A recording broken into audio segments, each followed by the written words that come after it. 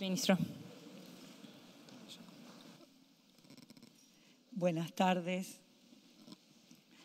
Eh, antes que nada, quiero agradecerle al ministro la presencia, el tiempo.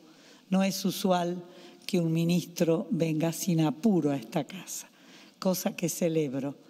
Y en esta casa, que es la Casa del Federalismo, eh, agradecer también y felicitar a la flamante comisión, no siendo parte de la Comisión de Turismo, que me hayan permitido hacer una pregunta. Quiero ser puntual porque apunté algunas cosas de su alocución en las cuales tengo algunas dudas que quisiera que me las despeje.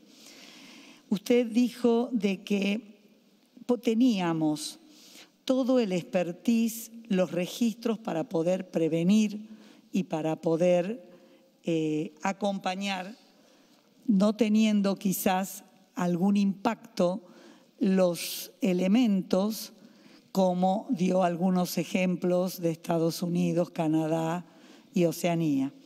Yo puntualmente quiero preguntarle, ministro, porque en el marco de la ejecución del presupuesto 2021, si no vi mal, el programa 50 de la articulación federal contempla en la actividad número 6 tiene usted para las acciones del Servicio Nacional del Fuego un presupuesto inicial tuvo de 282 millones de pesos y solo ejecutó 77 millones.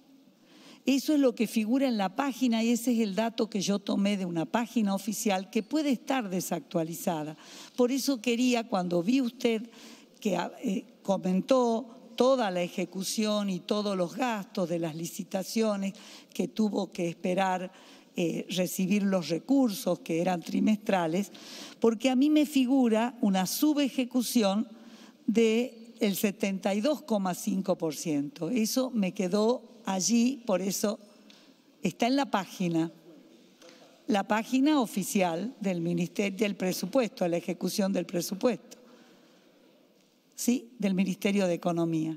Y luego, la segunda pregunta del Ministerio de Ambiente y Desarrollo del programa 63, que es de control ambiental, contempla en la actividad 46 del Servicio Nacional una ejecución de 2.481 millones, que bien explicó ahora usted que vamos a tener 6.400.